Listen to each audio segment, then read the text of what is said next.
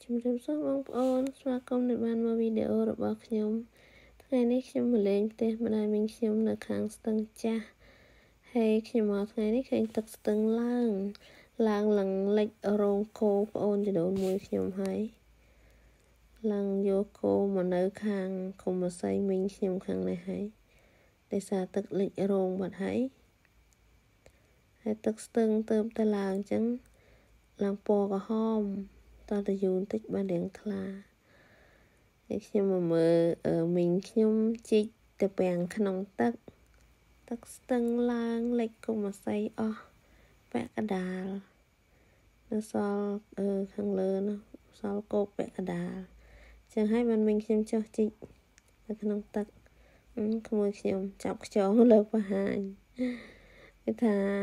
រើខ្យងយកទៅដំឲ្យទេស៊ី ទឹកហ្នឹងឡើងត្រឹមផ្លូវមីងខ្ញុំដែរគាត់ចុះទៅជីកហ្នឹងហើយទៅពេលនេះគឺទៅពេលផ្អែមបងប្អូនមីងខ្ញុំគាត់ថាដាំប្រហែលជា3ឆ្នាំហើយបែកគុំឡើងធំគាត់ដាំបាន3គុំដាំតាមមាត់ស្ទឹងនឹងឯងហើយមីងខ្ញុំម្នាក់ទៀតហ្នឹងក៏មានដែរនៅខាងមុខនោះមានតពាំងមាននស័យនៅតាមមាត់ស្ទឹងហ្នឹង ម្នាក់ពីបេគុំម្នាក់ពីបេគុំហើយការដែលខ្ញុំជិះមកតាមដងស្ទឹងនឹងរហូតនឹងក៏មានគេដាំអស័យរហូតហូរហែតាមដងស្ទឹងនឹងសិតតគុំអស័យក្មួយខ្ញុំដើរខ្ចងហើយខ្ញុំឆ្ងល់ដែរតាខ្ញុំឆ្ងល់ថា ចាំមិនបានគេដាំតអស័យចឹងចាដើមឈើផ្សេងអីក៏គេអត់ដាំនៅតាមមាត់ស្ទឹងភាគច្រើនឃើញសិតតា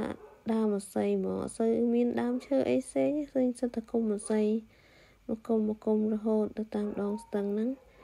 តាមមុខផ្ទះគេមួយមួយមុខផ្ទះរៀងរៀងខ្លួនហ្នឹងគេដាំអស័យគុំពីគុំហូរហែរហូត តមកដល់មុខផ្ទះមិញខ្ញុំក៏មានគុំស័យដែរហើយនេះមិញក៏ជីកឲ្យក្រោយនេះខ្ចីល្អដាច់មកនឹងខ្ចីអូ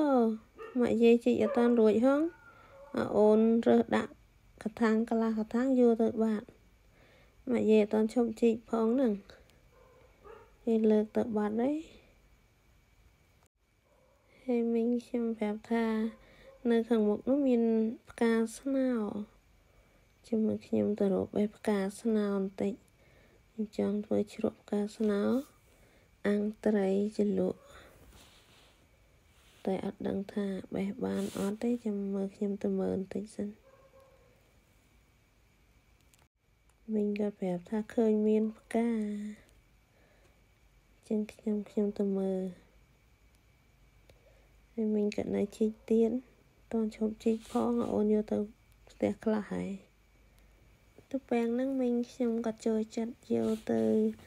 ចិត្តអឺធ្វើជាទៅពាំងក្រៀម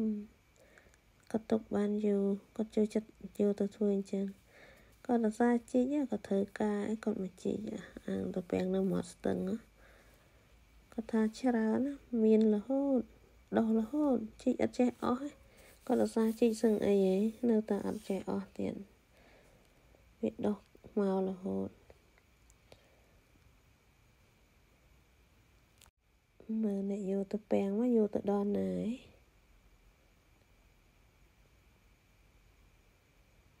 ឯណាអ្នកយកទៅពាំង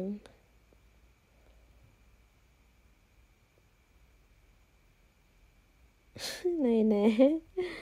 អាយូមិនយូឥឡូវលើកពី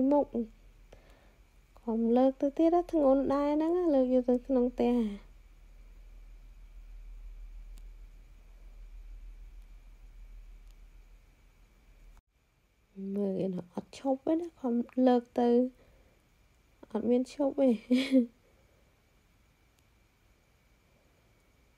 ហើយឥឡូវនេះខ្ញុំមកដល់កន្លែងដែលមានផ្កាស្នោហើយបងប្អូនគឺផ្កាស្នោមានពិតមែនប៉ុន្តែវានៅឆ្ងាយហើយនេះស្ពានក្តារ ស្ពាននៅខាងស្ទឹងចាស់ហ្នឹងនៅហួសផ្ទះម្ដាយមីងខ្ញុំប្រហែលជា100ម៉ែត្រហើយផ្កាស្នោហ្នឹងដុះនៅកណ្ដាលស្ទឹងឯណោះមានផ្កាប៉ុន្តែបេះមិនបាន បើស្ពាននៅនេះផ្កាស្នោដុះនៅនោះហើយទឹកឡើងខ្ពស់ទៀតបើអត់មានទឹកចេះតែបេះបានទេ ហើយនេះវាចាំងថ្ងៃផងបងប្អូនតាមពិតផ្កាច្រើនណាឃើញស្អាតដែរប៉ុន្តែវាចាំងថ្ងៃហើយបេះអត់បានទេបើនៅឆ្ងាយអញ្ចឹងហ៎មិញខ្ញុំប្រាប់ថាមានផ្កាទៅបេះហ៎ឥឡូវបេះហ៎នោះ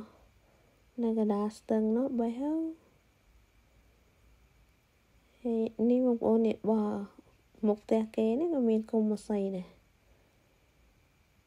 សិតតែគុំម៉ាស៊ីរហូតនឹងតាមដងស្ទឹងនឹងគ្មានអីគេឲ្យគុំម៉ាស៊ីទេនេះហើយស្ទឹងចាស់បងប្អូនណាមកឃើញដើមម៉ាស៊ីច្រើនតាមមាត់ស្ទឹងហ្នឹងហើយស្ទឹងចាស់គេហៅស្ទឹងចាស់ស្ទឹងចាស់ស្ពានក៏ចាស់ស្ទឹងក៏ចាស់ឥឡូវនេះអត់មានការស្នោទេហើយខ្ញុំទៅមើលខាងវាលស្រែវិញម្ដងបើបេះនៅនេះអត់បានផង នៅខាងវាលស្រែការរំចង់ស្អាតដែរបងប្អូនខ្ញុំជួយចិត្តមកវាស្រែខ្ញុំជួយចិត្តទេសភាពស្រុកស្រែស្រូវមានអីមើលទៅស្អាតពណ៌បៃតងស្អាតហើយថ្ងៃនេះខ្ញុំមានតែប៉ុណ្ណឹងទេបងប្អូនសូមអរគុណដែលបានមើលវីដេអូរបស់ខ្ញុំបាទបងប្អូនជួយចិត្តសូមជួយចុច like comment share និងចុច subscribe ឲ្យខ្ញុំម្នាក់មួយផងបងប្អូនអរគុណជម្រាបលាជួបគ្នាវីដេអូក្រោយ